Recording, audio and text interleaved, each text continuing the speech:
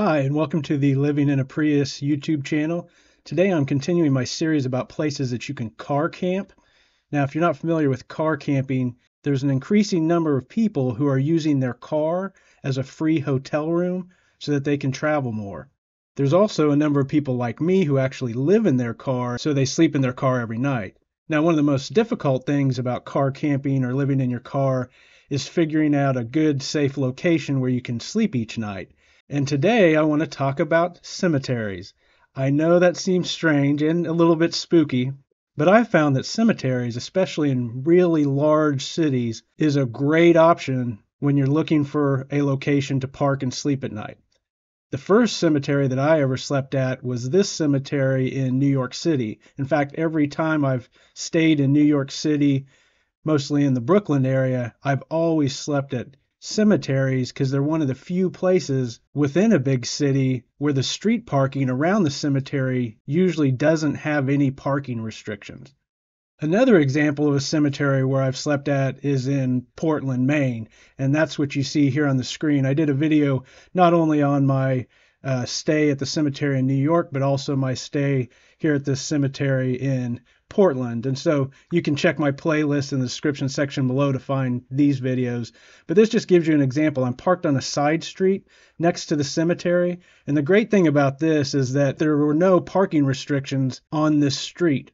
And on one side, I had the cemetery, and on the other side was a residential neighborhood. So it was a very quiet, secluded area to stay at night.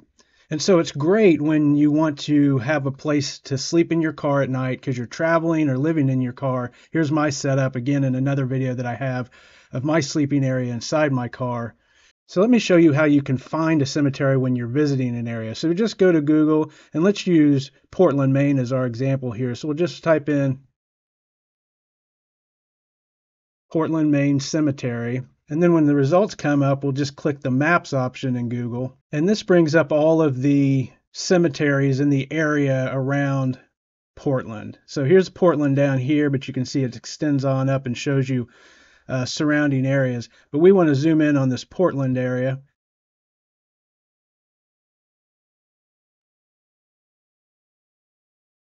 So here we see Portland, and this Eastern Cemetery is where I've stayed before when I'm in the Portland area. So let's zoom into there and take a look here at this cemetery. In fact, let's put it on the satellite view so you can more easily see what it's like. So again, this is a good example of a cemetery in an urban area.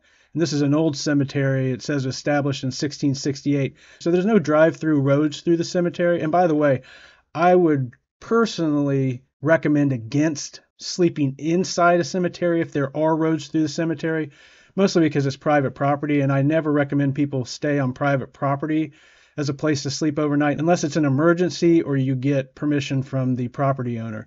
But these cemeteries are great because they're usually surrounded by roads all the way around the cemetery. In this case, it's residential on two of the four sides. And so if we go to the street view here, uh, this is the, area where I stayed at right here uh, at the corner of the cemetery, cemetery. So in that previous video, you saw my car was parked right at about here, and you can see that on the other side of the street is all residential. So this is a really quiet, secluded road. Doesn't get much traffic at night. Great place to sleep.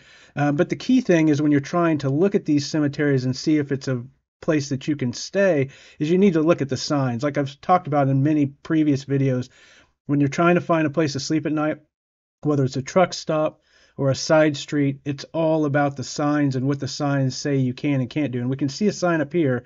And so let's go take a look at that one. So this is some type of a parking sign.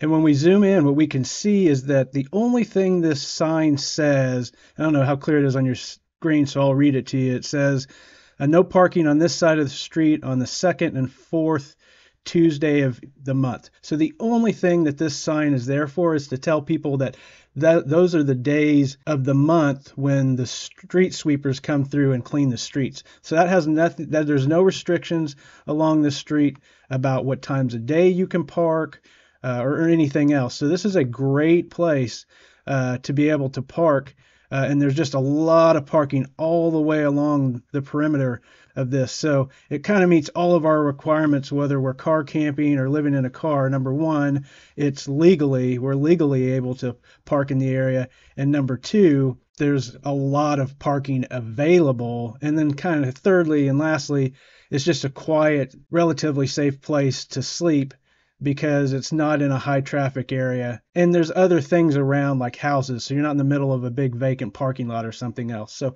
I consider this a great option for where to park and spend the night when you're traveling and car camping or if you're living in your car. So I just wanted to post a really quick video with another idea about where you can sleep in your car at night if you're car camping or living in your car. And I would heavily recommend that before you car camp or sleep in your car at night, you come up with a safety plan. You can watch my other videos. All of my videos are organized into playlists, which are in the description section below.